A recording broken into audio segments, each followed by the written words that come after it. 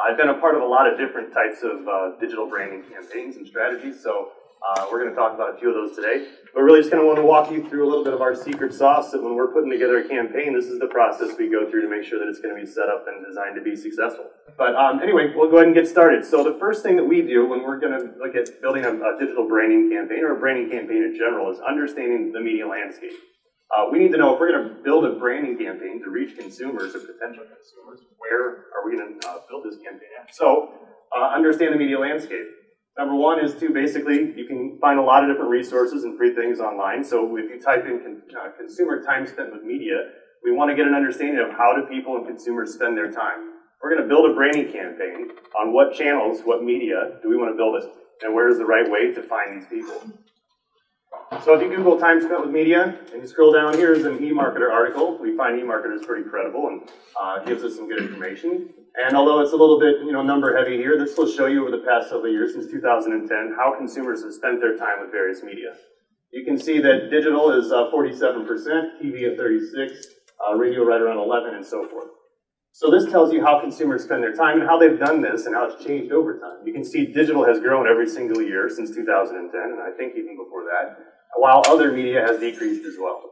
Now, within digital, you can see that mobile has grown substantially and has really taken the majority of consumers' time, which is not surprising since some of you are taking notes on your phone right now. So if we want to understand again how to build a branding campaign and reach consumers and tell them your story, this is where they're spending their time with their media. So it really makes us understand how we're going to start putting this together. So now that we understand that digital is where consumers spend their time, we also know that this impacts how advertisers invest those dollars to reach those consumers. So if we want to understand where people are investing those dollars to adequately reach these consumers in these channels, then we want to take a look at another source. So if you go back to Google and you type in uh, annual internet ad spending, you're going to find a free resource at the IAB. It's the Internet Advertising Bureau. And again, there's a lot of great reports here, and we're going to look at a few pages of them. Uh, but they have these uh, full half-year and quarterly reports uh, that have several, several pages. But we're just going to take a look at a few of these uh, out of it. So I encourage you to take a look at this and, and get as much information as you'd like. What you can see here is that while consumers spend most of their time with digital media, it certainly reflects how advertisers invest those dollars to reach them. So now, internet has surpassed all other advertising media uh, to become the largest invested in channel uh, or media available today. So it is number one uh, among all the other channels. So this is the first time I think last year that this happened and reflects again now investing is starting to uh, mirror what consumers are actually doing.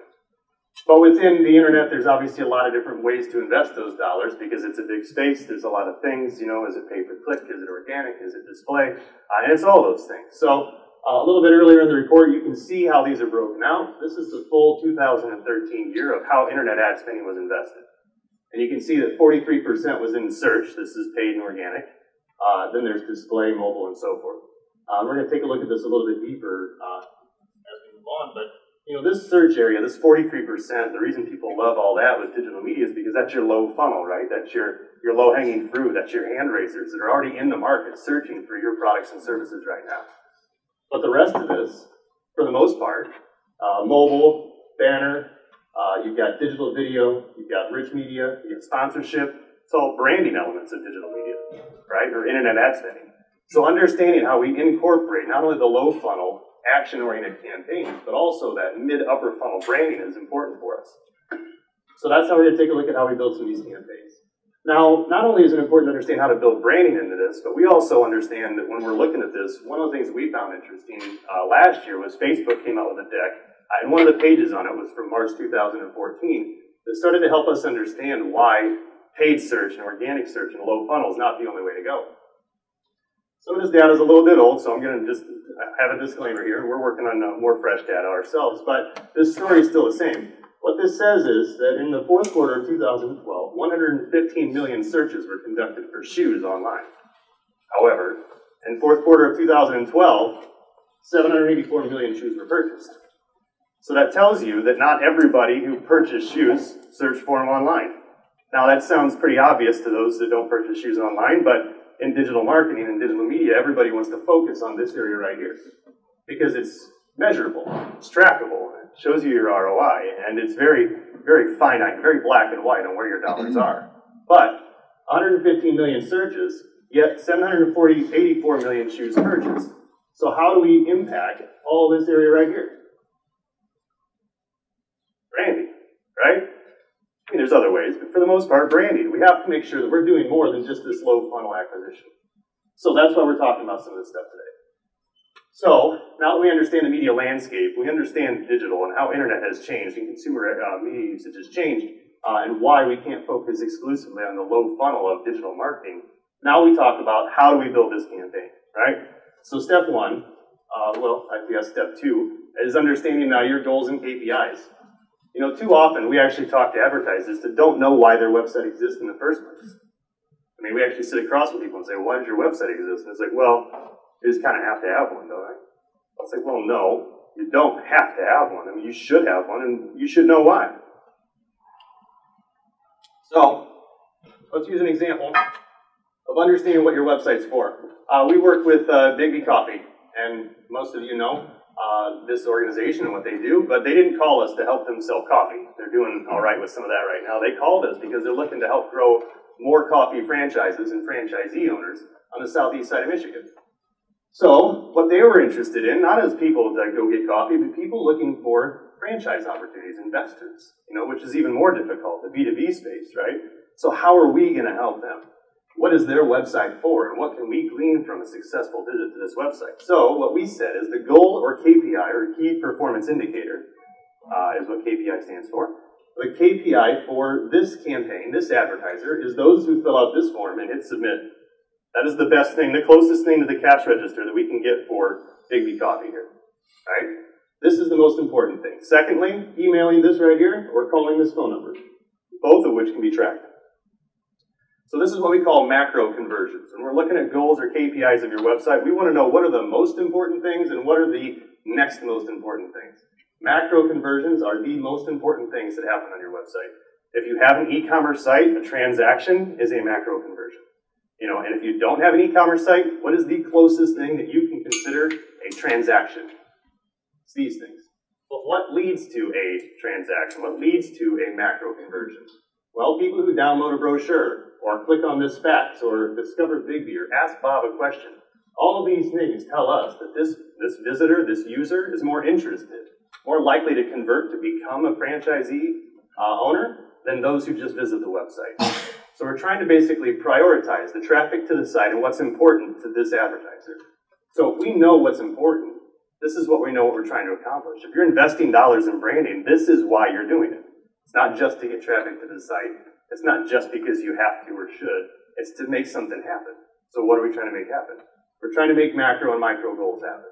Once you understand that, now we can start talking about how we're going to bring traffic to that website and we're going to make more of these things happen because that's what's going to be successful and generate a return on your dollar.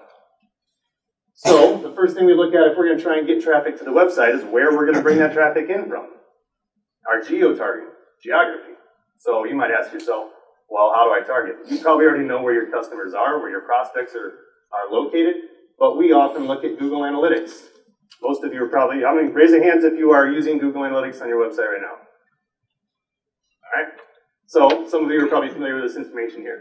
So, how do we know where our geography is? Well, you can take a look at Google and break down your geography by your metro and your market and figure that out. And actually allocate your percentage of where the traffic's coming from. So, you could geo target similarly to the way your traffic's already coming in now.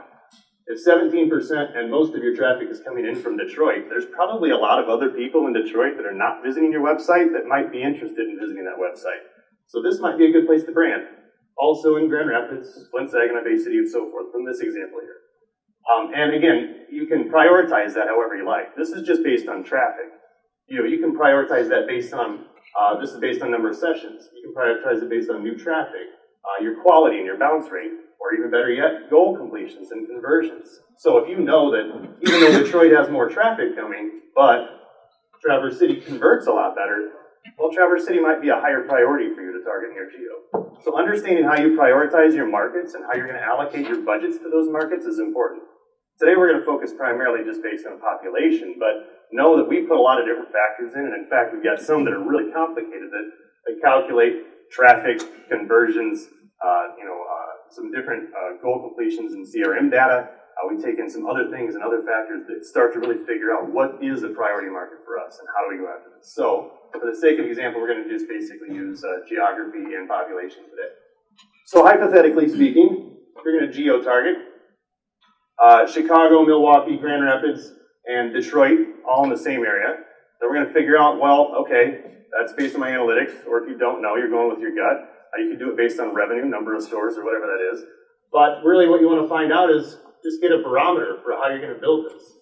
So really, what you want to know is populations of these areas. So if you're looking for populations, again, go online, type in market populations.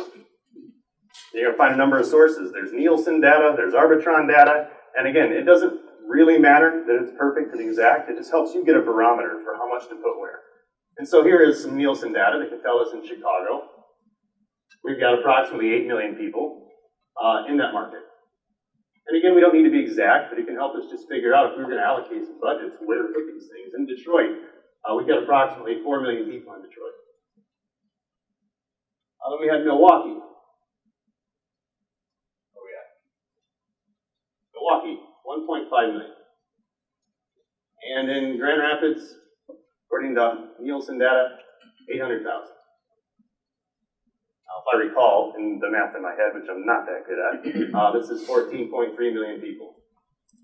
Okay? So you got 14, you're actually going after a market of 14.3 million people. So how much do you put into Chicago versus, you know, Grand Rapids versus Milwaukee or whatever? Well, we're just going to do some math, um, you know, here to figure that out. So 8 divided by your 14.3 tells us that we should put 56% in Chicago. And again, not an exact science, but just tells us a way to start. 4 divided by your 14.3 tells us that we could put 28% in Detroit. 1.5 divided by your 14.3, 10, 11% here. And your 800,000 divided by 14.3, right around 6%. Okay? So this gives you just an approximation of where to get started. It's not perfect, um, but it's a way to get going because otherwise, if you just start targeting things, well, Chicago's going to soak up all your budget, right? I mean, and, and, it may not be your, your best market. And in analytics, you're always going to see things like New York and, and LA are coming in and, and, bringing in a lot of traffic because there's a lot of IP addresses coming from there. They may not be your highest priority markets. So sometimes you can eliminate those markets and focus on the ones that do matter to you and then allocate these budgets here. But we also want to make sure that we don't just stick within these areas here and, and hyper target our, our places we, because we know IP addresses are not perfect and we know that there are some people we're missing. So what we try to do is go with a layered approach. You know, we kind of layer things to test what's working and what's not and how we can shift between things. So number one is what we would say is like your local target, right? If I target just like this, that's kind of a local strategy on how I can get each of these markets pretty granular. So then what is our, our regional target? You know, if I group all these areas together, that's our regional target. Or if I even expand a few others in there, what if I added in, you know, uh, South Bend, or if I added in Indianapolis or Fort Wayne? You know, this is a regional target. And I group all those things together to see how that performs. And then number three is what I would consider kind of that, you know, that that mass, uh, you know, mass. But here you might say it's a Midwest. You know, if your business is willing to go to Wisconsin and Illinois and Indiana and Ohio to do business, well, maybe that's your your Midwest or your, your more mass target. So these three areas, if you design a campaign to go after all three of these areas at once, you can start to identify what's working and what's not. If you're only going to focus this way, what happens if Fort Wayne, Indiana is a hot market for you? You wouldn't know, right? Until something in analytics started to tell you, but you're not investing there at all. This is going to help you make sure that you're reaching most of the people, you're strategic about it, and you can make better decisions about that moving forward. Now, some of you might be saying, but I don't need to reach the Midwest. You know, I reach people in my backyard. So I would say you can think about this even more granularly. But in your case, if you're thinking that way, you're thinking, well, I zip target to a small radius around my store. Well, that's great, but that's this. Okay? If that's your zip target around your store, awesome. Do that. But again, you're missing a lot of people based on those IP addresses. So what's your bigger plan? What's your bigger plan? So have a layered approach, even if it's not Midwest, regional, and, and a collection of large markets. Make sense? So now that we know kind of where we're going to find these people, we need to know who we're going after. So that reads and gets us into our audience targeting a little bit, which is a little more difficult because you may not know exactly who your audience is outside of you know your gut instinct on who those people might be. which often is not uh, the best way to go. Sometimes you have CRM data that tells you this. Sometimes you have um, you know PRIZM targets you've created from uh, different sources. You've used Acxiom or whatever that might be. Um, so you use all the information you can uh, to find out who your audience is. But here's the way we go about audience targeting. You know, branding, a lot of times we think of this mass marketing, right? We think of, uh, and I used to work in radio, but you think television, you think radio, you think billboards, you're reaching a mass market, um, oftentimes with very little targeting. Some, but rather minimal targeting to a branding mass marketing campaign. So this is the approach here. While digital has taken the very opposite approach, unfortunately, has gone very hyper-targeted. You know, and we often joke that it's the left-handed volleyball player who's a mom who wears a pink sweater and drives a Toyota Sienna and lives in Ionia County. Like, that is all possible things to target. And that is what people love about digital media, but it's not the right way to go. So reaching this mass market is not the best way to do it, but also neither is reaching this one person. So similarly to what we're doing here with Geo, we do the same thing with audience. Okay, and here's an example of that.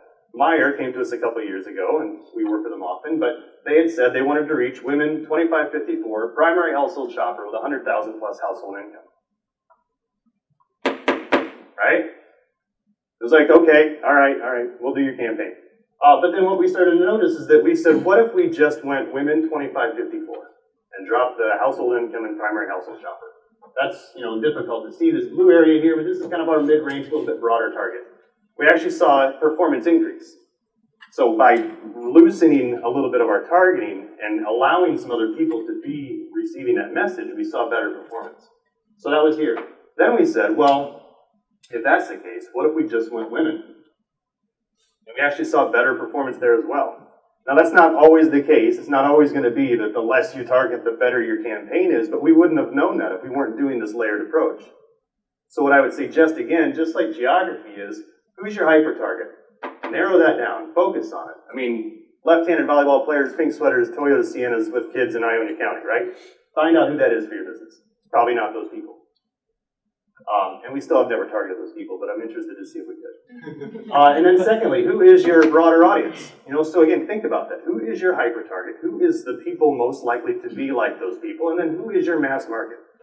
Because we want influencers of your business too, not just the people who might purchase or shop for your goods and services, but those who might tell others to do it. So that's theory.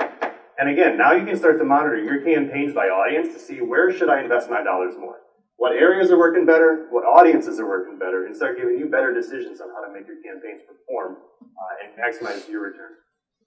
So now that we know where those people are, we know who those people are, we know those people are using multiple devices, right? They're using laptops, desktops, uh, still in some cases. They're using uh, iPads and iPhones and everything else. So how do we reach those people across multiple devices? Because we can't just target one. Well, again, in analytics, it'll tell you how the traffic is already coming to your website, and this is one way to mirror your campaign. In this example, you know, desktop is 74%, mobile 14, tablet 11. That's how the traffic's already coming to this website. Perhaps you should mirror that and reach people in that same way.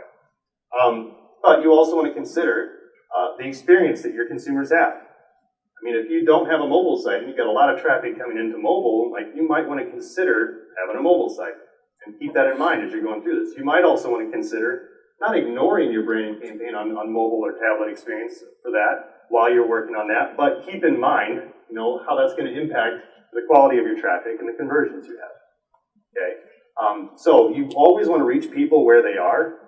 I would never say that you shouldn't use, you know, mobile if you don't have a mobile site. I think you should be working on your mobile site if you don't already have one. Uh, but this again is where people are. So we want to be in front of where people are. But at the same time, not only can we use this as a way to figure that out and have a strategy for how we're going to reach those multiple devices, uh, but you can also take a look at some of the information we looked at before as well uh, from the IAB. So if you go back to that Internet Advertising Bureau uh, annual ad spending report, it has a lot of information there. Um, and one of those is a little bit of that information we took a look at earlier.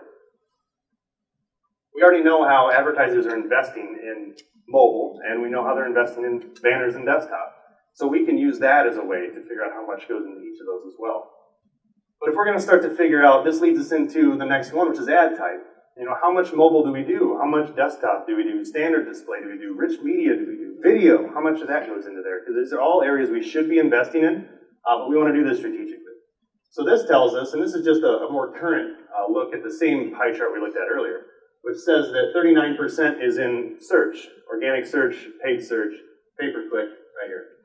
And really, uh, the rest here is uh, mobile, which is now grown to 23% of all online ad spending, uh, and 17% in banners and display, 6% in video, 6% is lead generation, which again is that low funnel, so that's not our branding campaign. But you've got uh, rich media at three and sponsorship at two. Okay, so if we really add up all of our ad types in our uh, in our branding campaign, oops, not me. So we're going to figure out how much of this we're going to put into which ad type. So if you look at mobile, the interesting part here about mobile is that of this 23%, only 47% is in display. The other 51% is in search. So that's the low funnel for search or for mobile, right? So if we take 47% of our 23%, now we know that about 11% uh, is really going to be a mobile portion of the campaign. Now we know that this right here, this uh, banner advertising, um, is is all branding. So you can add that in at 17. Uh, then you've got your digital video in here at 6. And then you've got rich media at 3. 6, rich media at three. Then you get sponsorship at what, two? Which equals 39%. 39% is in low funnel, and there's a little bit in your lead generation classifieds. 39% is in these branding elements of your campaign as well. So now if we say these are the areas that we would like to invest in, you know, how much do I put into each of these areas here? Make sure that I'm strategic about that as well. So the same kind of math we were doing here over here with our geography, we're going to do for our ad types.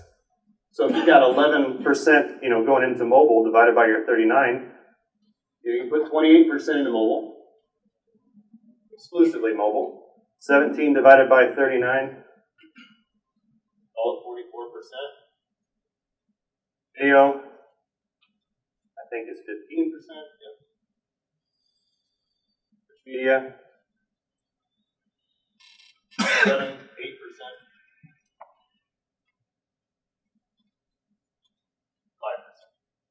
So this is a way to allocate ad types, but it's also based on kind of a little bit on device, how much you're going to invest there as well. Just make sure that you're adequately reaching the market, but you're also incorporating high impact and some engagement campaign uh, portions of your campaign as well. Now I understand not every budget is going to be allowed to, to go across all these, so you have to prioritize those as well. Because if you start to break down your budget and you have like $1 going to sponsorship, well, perhaps we should eliminate that.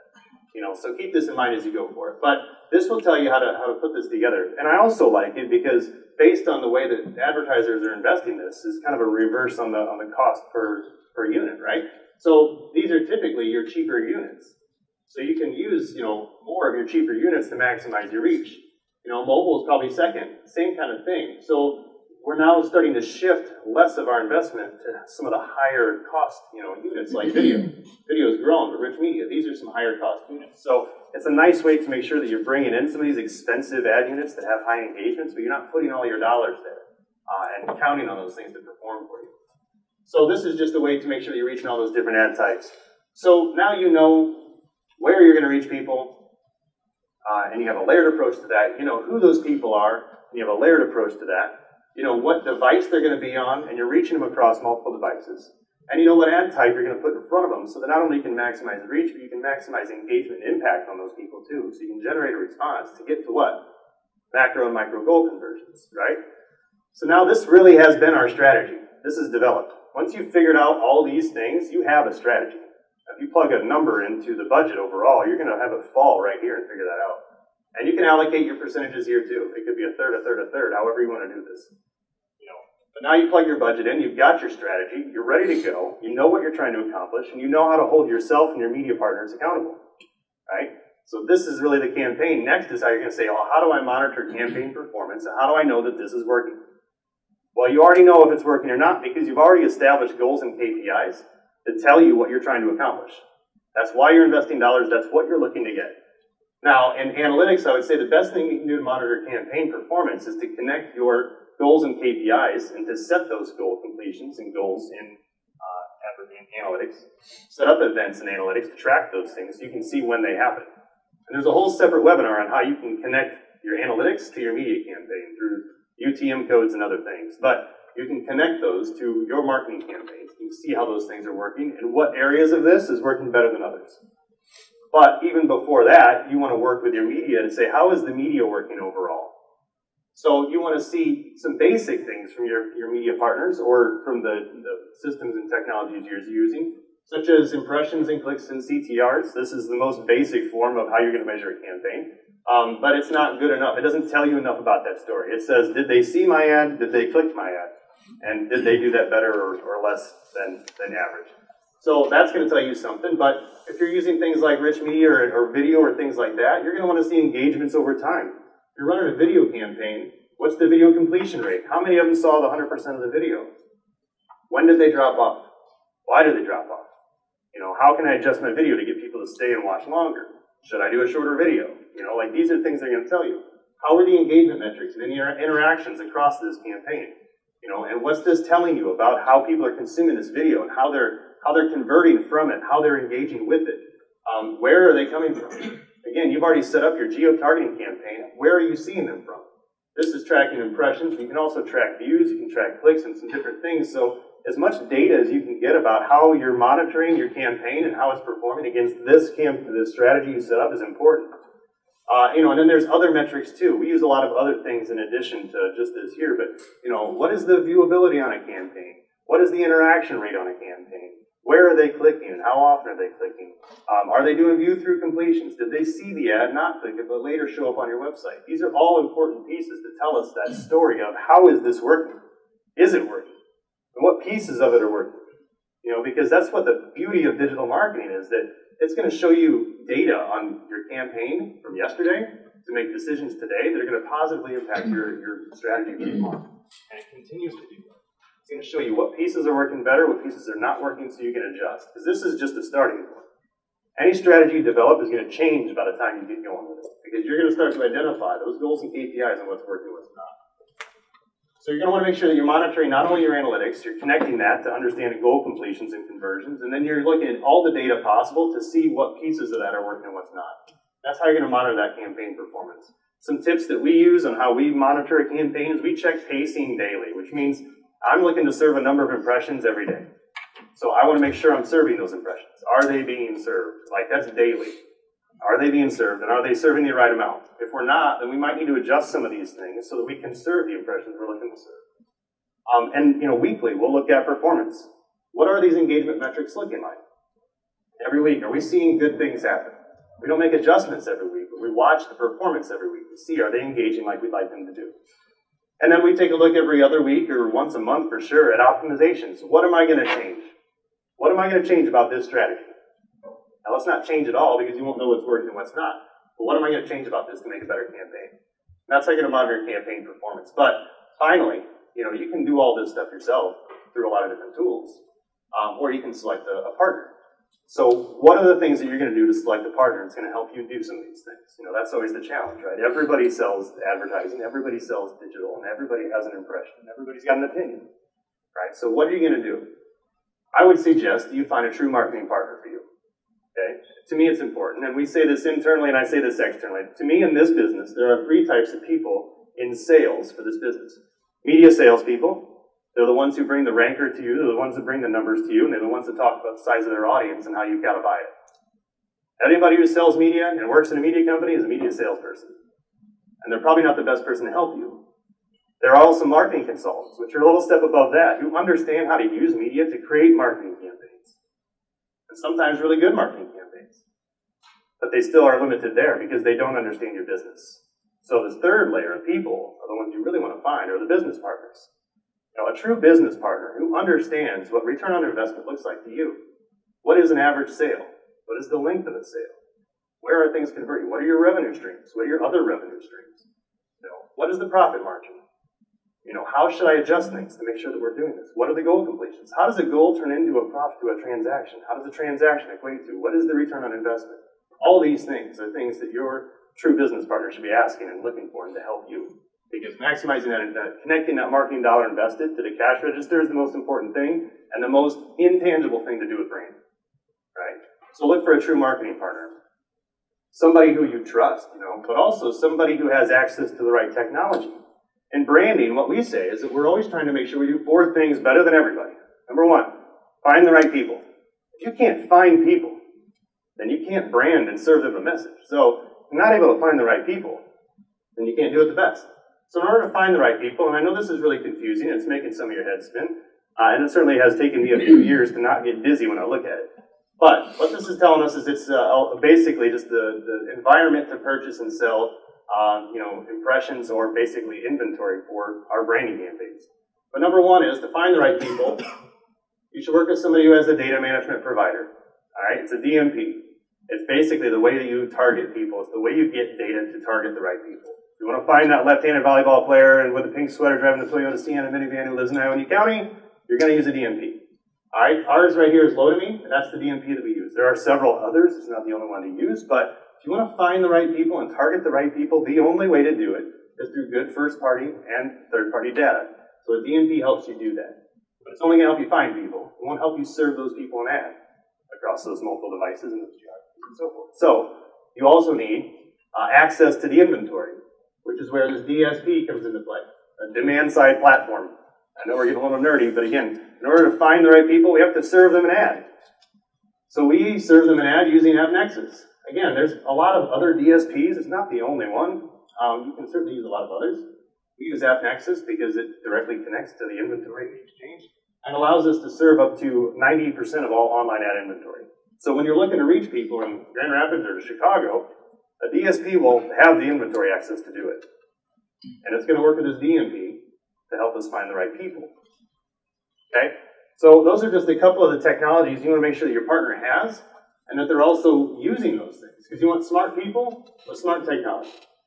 And beyond these two things, in terms of finding people and finding inventory, you want to make sure that you can monitor, you know, the campaign. So, like we talked about a bit ago, find somebody who has more than impressions and clicks and CTRs. You know, find a person who's going to bring you reporting and talk to you about your campaigns that are more than impressions and clicks and CTRs. And if they're not, and in some cases, we continue to challenge our own people to do this too. Challenge them, push them, because impressions and clicks and CTRs are not going to tell you how your goals and KPIs are doing and how you're going to generate a return on your branding campaign. So challenge those people and look for people who bring you enhanced analytics beyond just what you would expect from a digital campaign. Can tell you what that story is and how it's performing. So look for somebody with some different things like that. And finally, you want to look for somebody you trust. You know, digital marketing is a scary place. It's a confusing place, and there's a lot that can go right. It's beautiful in that way, but there's a lot that can go wrong too. And you cannot set a campaign and forget it.